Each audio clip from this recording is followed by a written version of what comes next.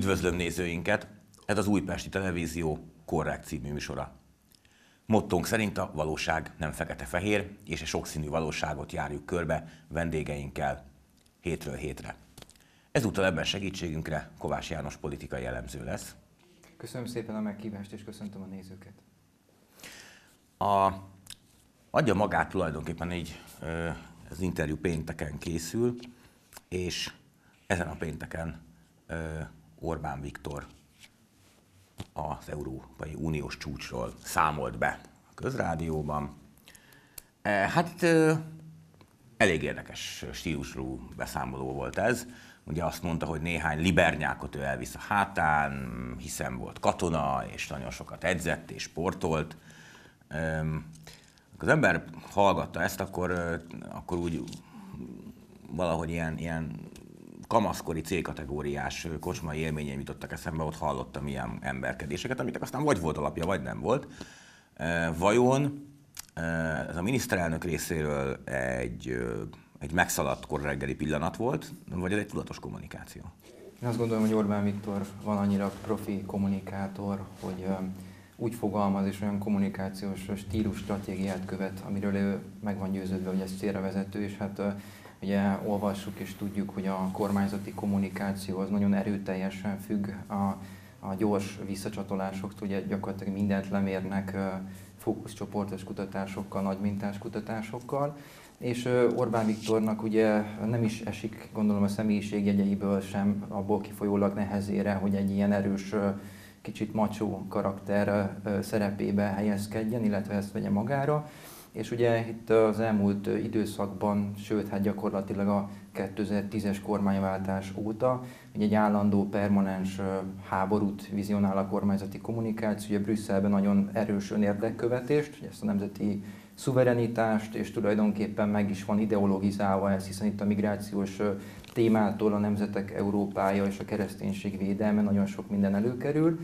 és ugye az egyik ilyen fő ellenség az kétségkívül ez a brüsszeli bürokraták, ugye most a mostani szabadosabb megfogalmazásban ez a libernyák réteg, ugye a soros hálózat, stb. És hát ugye ellenük gyakorlatilag ez a fajta szóhasználat, annak a célközönségnek, akikhez a miniszterelnök szól, ez abszolút kifizetődő, én azt gondolom.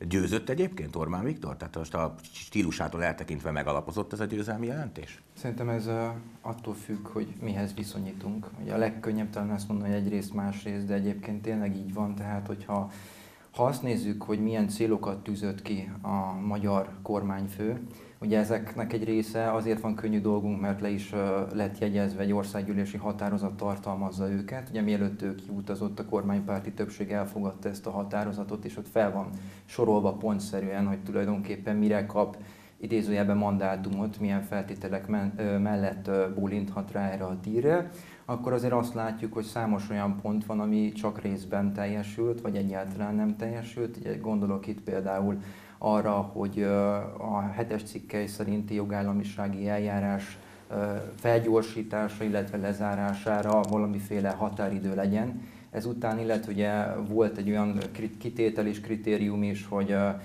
ne lehessen támogatni civil szervezeteket, vagy hát ugye a kormányzati megfogalmazásban áll civil szervezeteket uniós költségvetési forrásokból, stb. stb. Tehát azt látjuk, hogy a politikai kritériumok vagy feltételek közül több olyan van, ami nem teljesült.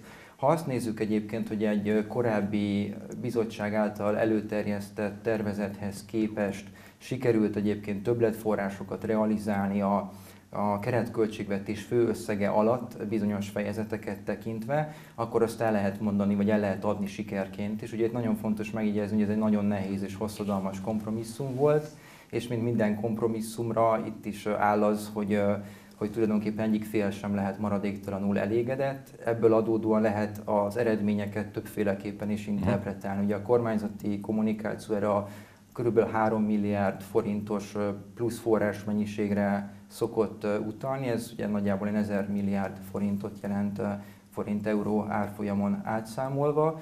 Ugye itt főleg a kohéziós források, illetve a regionális fejlesztési források kapcsán jegyzi meg, tehát egy korábbi tervezethez, vagy egy korábbi stádiumához képest a tervezetnek ennyivel sikerült megdobni ezt a számot.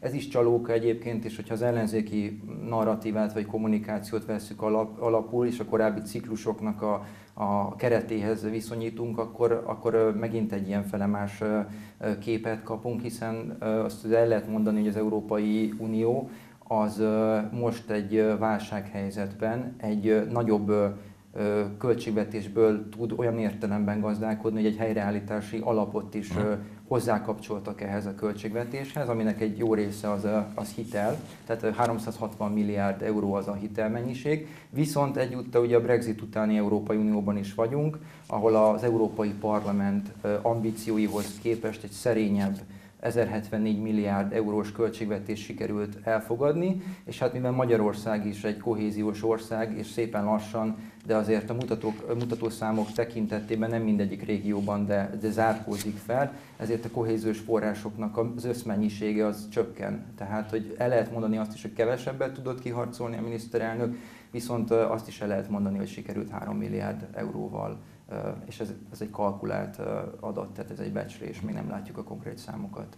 Az Európai Parlament nem hagyta jóvá ezt a dílt, ezt a megállapodást, tehát itt most mire lehet számítani? Akkor ez most megy a kukába, újra kell tárgyalni, mm. vagy ez csak egy gesztus, hogy az a parlament is véleményezhet, és ettől függetlenül így marad. Hogy néz ki ez jogilag?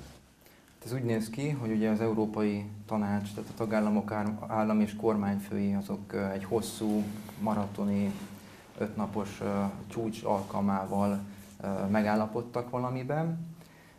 Ezt nyilván az Európai Parlamentnek és majd a tagállami parlamenteknek jóvá kell hagyniuk, és mivel az Európai Unióban a bizottság az, amelyik jogszabály kezdeményezésekkel élhet, de a többi intézménytárs jogalkotóként bekapcsolódhat ebbe, ezért a bizottságnak majd egy olyan javaslatot kell beterjesztenie, leírnia, ami ezt a fajta szélesebb kompromisszumot tartalmazza, amiről most az Európai Parlament döntött határozatot vagy állásfoglalást hozott, az arról szólt, hogy számos ponton elégedetlen azzal a megállapodással, ami megszületett.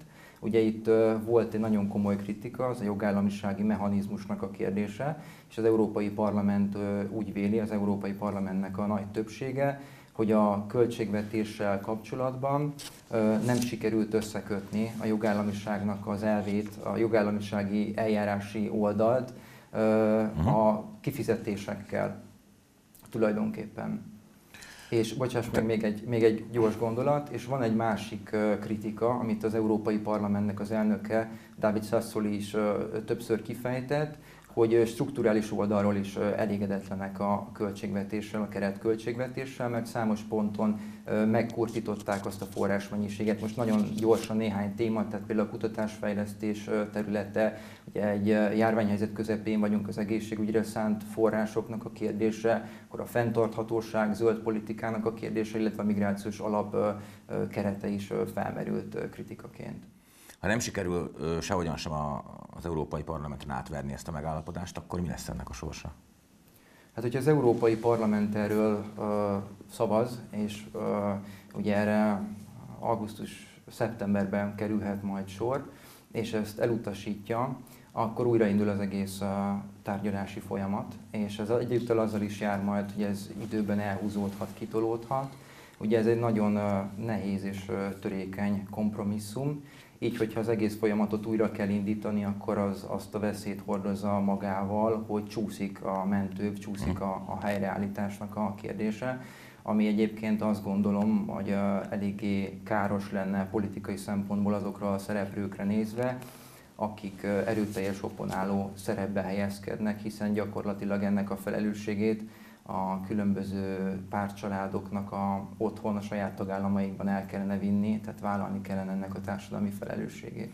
Tehát akkor elképzelhető, hogy mondjuk a magyar politikára vetítjük, hogyha például a jogállamisági kritériumok nem megfelelő hangsúlyozása vagy számonkérhetősége miatt a, az ellenzéki magyar európai parlamenti képviselők úgy fognak szavazni, hogy elutasítják ezt a megállapodást, akkor utána a kormány azt mondhatja, hogy hát miattuk csúszik a mentő csomag, Magyarország miattuk veszít milliárd eurós tételeket. Szerintem szinte biztos, hogy lesz egy ilyenfajta kommunikáció, sokkal fájdalmasabb az opponálóknak azokban a tagállamokban, főleg a dél-európai országokra gondolok, ahol eleve nagyon súlyos válsághelyzet alakul ki, eleve magas az államadóság, eleve gyenge a fiskális fegyelem, komoly költségvetési problémák vannak, tehát ahol sokkal égetőbb lenne az, hogy minél hamarabb keresztül menjen ez a csomag. Ugye Orbán Viktor azt mondta, hogy a lengyel és magyar erők állították meg a liberális internacionalista offenzívát Brüsszelben. Még azt is megjegyezte, hogy a v másik két tagállama is ugyan szerepet vállalt ebben, de igazából a magyarok meg a lengyelek voltak, akik megállították ezt az offenzívát. Na most, ha ezt a nyilatkozatot tekintjük, akkor úgy tűnik, mintha Orbán ö, egyedül lenne a lengyelekkel az Európai Unió többségével szemben. Ha viszont így van, akkor ö, hogy lehet az, hogy az a, az Orbán Viktor számára igazán kényelmetlen ö, jogállami számonkérhetőségi passzusok azért nagyon fellettek vizezve. Uh-huh. Ez egyik fontos kritika is ugye az Európai Parlament bizonyos frakciói részéről, Szóval hogy lehet az, hogy, hogy nem kapják el ö, ö, Brüsszelben a grabancát, hogy egyszerűen fogalmazunk mi is, holott ő maga is azt állítja, hogy ő kisebbségben van a nagy többséggel szemben. Ugye itt azért kerülhet szóba Magyarország és Lengyelország egy lapon, hiszen mind a két országgal szemben már folyamatban van egy, egy jó ideje a hetes cikkely szerinti jogállamisági eljárás.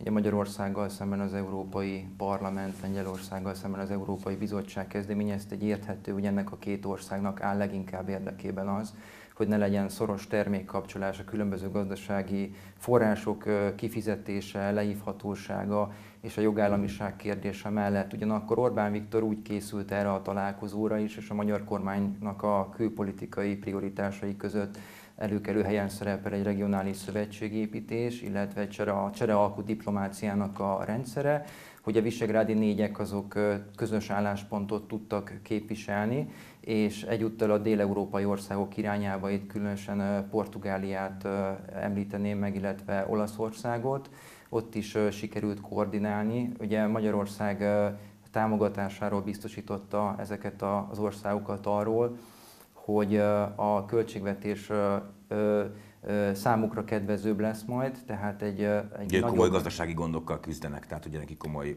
Igen, nekik nagyobb plusz forrásra van szükség a talpraálláshoz, és ugye itt a, a visszanemtérítendő támogatásokra kell gondolni, illetve a, a nagyobb hitelkeretre kell gondolni, illetve a felhasználásnak a rugalmasságára. Tehát ne feltétlenül legyen megkötve nagyon strikt módon, célorientáltan milyen területekre lehet ezeket felhasználni. És ebben a kérdésben volt közös ellenfél is, ez az úgynevezett uh, takarékos négyek, akik ebben a kérdésben nagyon merev álláspontot képviseltek, hiszen nettó befizető országokról van szó, akiknek nem áll érdekükben az, hogy az európai szolidaritás az ilyen széles módon kiterjedjen, és ezáltal több pénzt kelljen befizetniük a közös kasszába.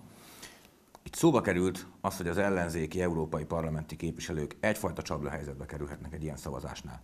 Most általában, ha az ellenzék és a kormány helyzetét nézzük magyar belpolitikában, akkor azt látjuk, hogy egy komoly járványhelyzet volt, amely jelentős gazdasági visszaesést is fog valószínűleg okozni. Folyik a számháború, de több százezer ember biztos, hogy elvesztette az állását, és még nem se tudjuk, hogy ennek mennyire lesz vége. Jelentős kritikák érték azért a kormányzatot a, a, a kórházak kiürítése kapcsán, mennyire volt erre szükség, milyen minőségű védekező eszközöket, lélegeztetőgépeket vásároltak, és a többi, és a többi. És ezek e, heves viták ellenére, vagy ezzel együtt azt látjuk, hogy a kormányzó párt, a Fidesz nem hogy gyengült, hanem még erősödött is. Igen. Most akkor ők kezelték ennyire remekül ezt a válságot, vagy valamit az ellenzék nem értett meg ebből a helyzetből? Vagy mindkettő, vagy egyik sem? Uh-huh. Hogyha kitekintünk Európába és megnézzük a különböző kormányzati pozícióban lévő pártoknak a népszerűségét, akkor azt látjuk, hogy főszabály szerint jót tett nekik a, a koronavírus akut felfutási időszaka, illetve most már ugye, hogyha körbenézünk, akkor több országban a második hullám is beköszöntött, elérte őket. Én azt gondolom, hogy ennek a ennek a, a pártpreferencia megítélésnek ebben a tekintetben is van jelentősége, tehát nyilvánvaló, hogy volt itt egyfajta felemelő hatása, és a magyar kormány ki tudta magáról alakítani azt a, azt a látszatot a választópolgárok irányába, hogy jól kezeli a helyzetet, hogy egyébként összeszedett, felkészült, Ugye volt ezért elég sok kritika ellenzéki oldalról, ami érte őket, de úgy tűnik, hogy a választóknak a többsége mégis azt a, azt a megállapítást szűrte le az összképet tekintve, hogy a kormány a helyén van. És érdekes, hogy olyan kérdésekben, mint mondjuk a magyar egészségügynek a megítélése, ahol jellemzően negatív, pejoratív a választók többségének a hozzáállása. Még a, a kormánypárti szavazók és így minden, majdnem minden felmérés szerint igen. Így van. Ugye ezekben a kérdésekben is azt láthattuk a különböző választói attitűdvizsgálatokból és közvéleménykutatásokból, hogy a, a választók többsége bízik benne, hogy az ellátórendszer képes lesz kezelni a helyzetet. Ez nem azért van, mert bízni kell, bízni szeretne? Hiszen hát egy... egy elesett helyzetbe kerül egy ember, amikor különösen egy ismeretlen vírussal kerül szembe, olvassa a rém történeteket a, a sajtóban, és nincs ebben egy ilyen tudatalatti De ez biztos, hogy egy, ez egy lelki szükséglet, és ugye az, amiről beszéltünk, ez a zászló körüli gyülekezés, politikai értelemben, hogy a szakirodalom ezt így nevezi, amikor a döntési pozícióban lévő, hát ugye kormánypártok vannak döntési pozícióban, szereplők felé egyfajta többlet bizalom árad a társadalom részéről. Ez persze később, hosszabb távon majd korrekcióra kerül, és különösen ugye a gazdasági válságkezelés lesz majd ennek a, az alfája és az omegája. Ugye nagyon sok, sokan elmondták az elemzők közül is, hogy igazából az ősz lesz majd az, ami vízválasztó lehet ebből a tekint, ebben a tekintetben, hogyha ősszel még mindig komoly gazdasági problémákat tapasztalunk, látunk, stb. És a kormány nem lesz képes azt a fajta növekedési prognózist valósággá váltani, amit mondjuk a jegybank pozitív várakozásokat is felülmúló szereplőként előrevetít, akkor ez nyilvánvalóan népszerűségvesztéssel járhat. Ugye azt láthatjuk itt például a jegybanki prognózis kapcsán, hogy a pénzügyminisztérium jóval pessimistább mm. kilátásokat tart reálisnak. Ugye itt az egyik oldalon 3 és 5 százalék közötti visszaesésről beszélhetünk, a másik oldalon még mindig 0,3-2 százalék közötti növekedési pályáról. Hát, hogy melyik prognózis válik valóságá, vagy lehet, hogy egyik sem, azt valóban majd a következő hetek, hónapok fogják eldönteni, és vissza is fogunk akkor majd térni erre. Nagyon szépen köszönöm, hogy elfogadta a meghívásunkat. És köszönöm a lehetőséget. Nézőinknek pedig köszönöm szépen a figyelmet. Jövő héten se feledjék, a valóság nem fekete-fehér. Viszontlátásra!